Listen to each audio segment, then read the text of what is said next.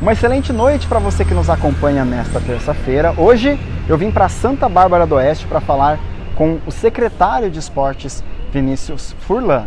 Afinal, novas competições estão acontecendo e com inscrições abertas. Tem o vôlei que começou nesta segunda-feira, tem também o futsal da primeira e segunda divisão com as inscrições encerrando nesta sexta-feira e novidades sobre o futebol de campo. Confere a entrevista aí. Primeiro vamos falar sobre o futsal, as inscrições estão acontecendo. Como, vai, como está sendo essa, essa, esse processo aí de pré-campeonato? É, bom dia, prazer falar com você novamente, Rafael. O futsal, a gente cumprindo a nossa nosso calendário né, de inscrições, estamos com as inscrições abertas. A gente contempla 16 vagas para a primeira divisão. Até o momento, 12 equipes já retiraram as fichas. E na segunda divisão, é um número ilimitado.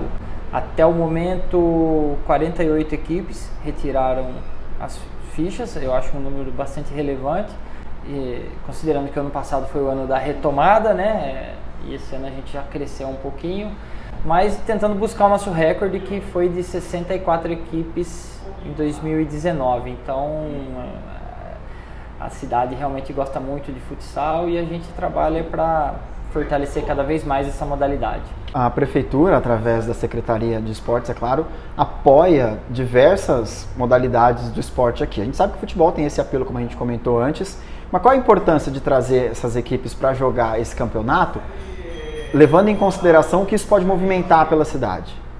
Assim, é, o esporte aqui a gente encara como lazer, principalmente para o cidadão, por se tratar de uma modalidade na idade adulta e também encara como uma maneira de trazer a população para a prática de uma atividade esportiva. Como o encerramento das inscrições do futsal é agora nessa próxima sexta-feira. Aí a gente tem um, uma semaninha aí para preparar sorteio de grupos, congresso técnico, elaboração da tabela. Na outra semana, se tudo correr bem, aí na última semana de fevereiro a gente está começando já com, com as disputas não só de futsal vive o homem, tem vôlei também acontecendo. Já começou na segunda-feira. Como foi o início do campeonato? Como é, você projeta? Lembrando que aqui na secretaria a gente tem uma série de modalidades, né? Ontem foi o retorno às aulas. A gente tem aula de muita coisa aqui, né? Os jovens, os, dos, de criança até a terceira idade. Então, essa semana marcou o retorno às aulas. Ontem à noite também teve início o nosso torneio de férias de voleibol Torneio esse com oito equipes no masculino, também temos o, feminino. É, o, tivemos dois jogos ontem à noite, hoje temos mais dois jogos e assim ao longo aí de, da, das próximas semanas, um nível muito legal, muito bom. As equipes vêm se reforçando a cada ano. E para quem gosta de voleibol, fica o convite aí. É só procurar nossos ginásios durante a semana à noite que está tendo um bom jogo lá para assistir. Só para frisar então, futsal as inscrições até sexta-feira.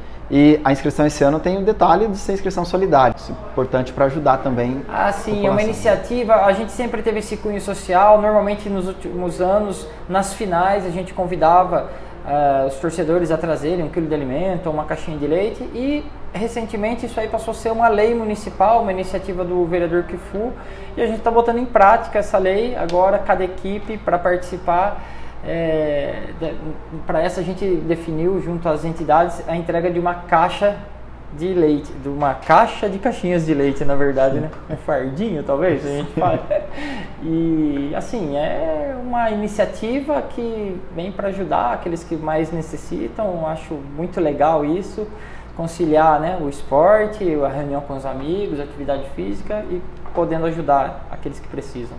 Futebol amador também de campo, já tem previsão aí das inscrições também, né? Pode falar um pouco mais sobre Sim, isso? Sim, estamos liberando as inscrições da primeira e da segunda divisão do nosso campeonato amador, campeonato nosso que está cada ano mais forte, né? Chega aí com grandes públicos aí na reta final. Esse ano uma expectativa muito grande na primeira divisão, já que tivemos o acesso na segunda de grandes equipes, equipes assim com muita torcida.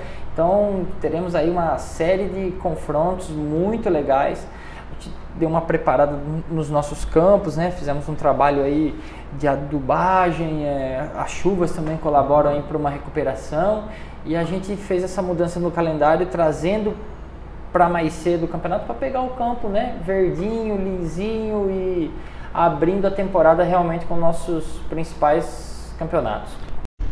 E para quem gosta de luta, estão abertas as inscrições para as aulas grátis de karatê do projeto Esporte Cidadão de Santa Bárbara do Oeste.